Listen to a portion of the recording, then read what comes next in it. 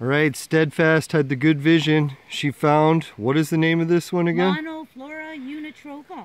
Yeah, and it's pink. We've been looking for the pink variety for how many years now? Yes, I can't believe it's a pink one. I'm so ecstatic.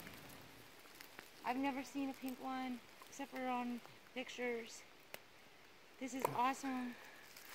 We'll try to get it to focus in. There we go. The sun shining on it. Wow.